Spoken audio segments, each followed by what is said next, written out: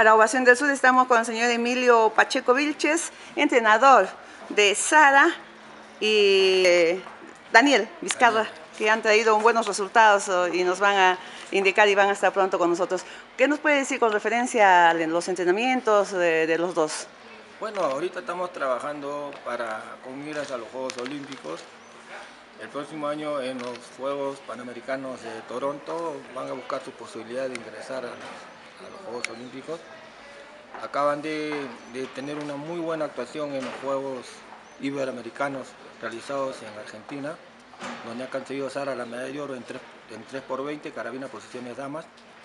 Y Daniel salió el segundo lugar en la categoría de varones en carabina de aire, siendo superado por el representante de España solamente.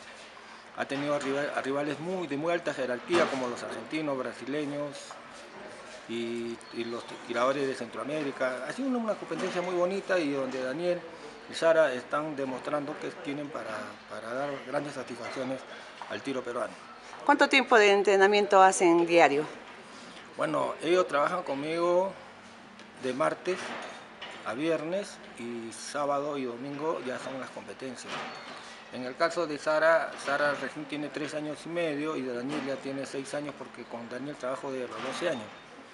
Con Sara he comenzado a trabajar a partir de los 16 años y ahí están los resultados, es el apoyo, ahora pertenecen a ADO, son tiradores que nos representan continuamente en todas las competencias internacionales y, para el, para, y tienen los récords nacionales tanto de damas y, mayores, en damas mayores y en, varones mayores, también Daniel y Sara son los dos mejores exponentes del tiro peruano en la actualidad.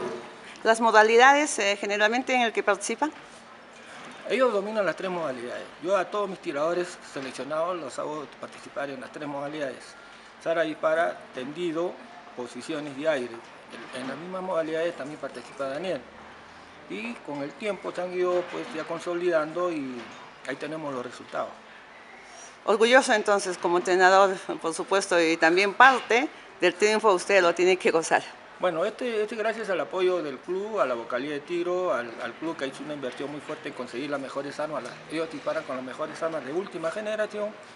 Eso fue una preocupación del club y yo estoy acá muy contento trabajando ya hace siete años y espero que dame unos cuantos años más para... Porque mi meta es que ellos clasifiquen a una Olimpiada. En la próxima participación internacional que van a tener los dos. Bueno, ahorita vienen los Juegos eh, Sudamericanos que se va a realizar en Santiago, se llama el, de Sacampelo. Después van a, ir a, la Copa del Mundo en Granada. Y por último, su última competencia que tienen es el Campeonato Americano de Tiro que se va a realizar en Guadalajara, México. Entonces ellos sí están, como pertenecen a dos, siempre están eh, siguiendo ese tipo de competencias con miras a, los, a las Olimpiadas y a los Panamericanos del 2019. Eh, un poquito difícil de repente con referencia a los permisos porque ellos también están estudiando. Claro, eso quizás es una de las cosas que en este momento frena un poco la preparación, porque aparte de ella tengo dos tiradores más que son de alto nivel, como es Andrinda Cochea y Alicia Arenas, tiradores seleccionadas también del Perú, son los cuatro, forman un grupo muy bonito. Y quizás el principal problema sea de los estudios, pero primero están los estudios, ¿no? Eso indudablemente, y, hacemos lo que podemos. Pero también se tienen que dar las facilidades, hay que hacer un llamado, digamos, a las autoridades.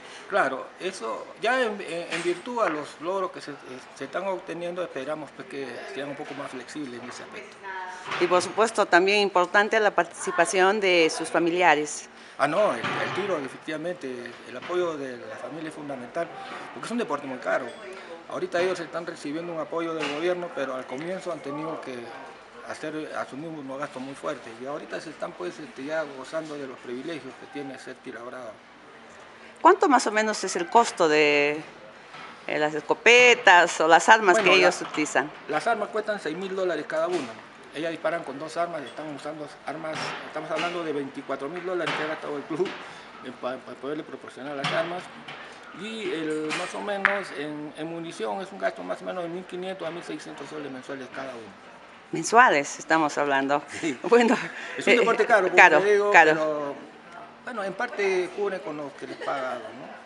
Eso es importante, digamos, este año. todo todo eso que nos ha mencionado o va a realizarse durante el año 2014. Sí, ellos, ahorita pues tienen, las miras ahorita que están puestas en ellos AVE es Asociación de Deportistas Olímpicos, que, que está dando apoyo a aquellos deportistas muy jóvenes con miras a, que puedan lograr éxitos en, en el futuro. Ellos son potencialmente grandes tiradores para una Olimpiada y a su vez para los Panamericanos que se van a realizar en el 2019 acá en el Perú. Espero eh, permanecer acá en este club todavía para, para seguir preparándolos a ellos, porque son muy buenos tiradores. Con los logros que he hecho, yo pienso que es muy difícil que lo suelten más bien. Ojalá, ojalá. ¿De dónde proviene usted? Del- Yo soy tira- yo he sido deportista, yo soy del Callao. Tuve 25 años, representé al Perú. Hace más o menos otros 25 años que me dedico a la enseñanza y soy juez internacional de tiro.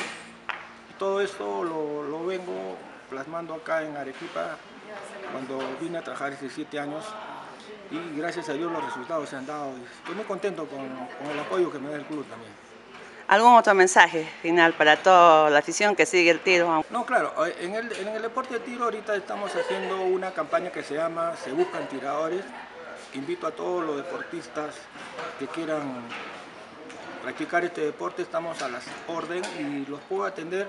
Yo trabajo de martes a domingo, descanso los días lunes y estamos de 10 a 1 y de 2 de la tarde a 8 de la noche para poderlos atender.